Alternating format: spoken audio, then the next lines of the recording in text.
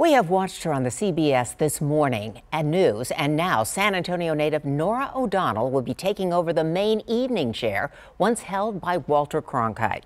O'Donnell was officially named as the new anchor of the CBS Evening News today, and I'm proud to say she is a fellow MacArthur High School graduate. Eyewitness News reporter Jeremy Baker has more.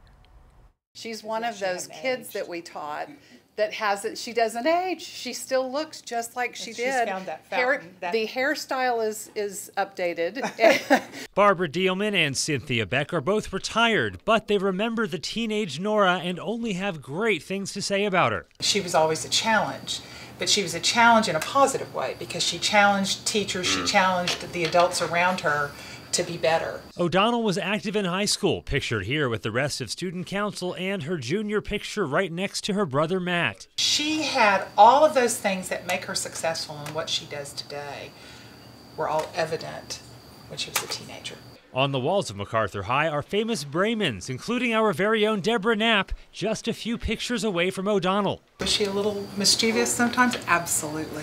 In the junior yearbook, she was even quoted about playing pranks on substitute teachers along with her friends. We turned off all the lights and harassed her, making strange noises. It may have been 28 years since O'Donnell walked these halls, but her teachers say the outstanding and unique group of friends she had then still has stuck together.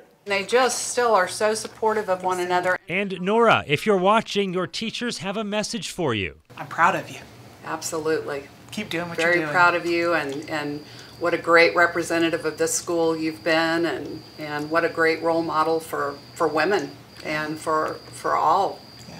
young people Earlier today, she tweeted, I'm going to give this everything I've got. She also said she's honored and humbled. And when I was speaking with the teachers earlier today, they said that's exactly what she was like in high school. She was humble, uh, she was quiet, um, th- she didn't seek the limelight out, it just ended up coming to her.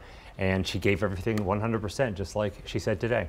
Wow. I know she quoted Walter Cronkite as saying, just give it your all, and that's exactly what she plans to do. Yeah, that's how she got to where she is now. That's great. Well, she had a great education at MacArthur High School. I, I can bet. attest to that. Great English teachers. All right, Jeremy. I certainly enjoy her on the news. That'll be great.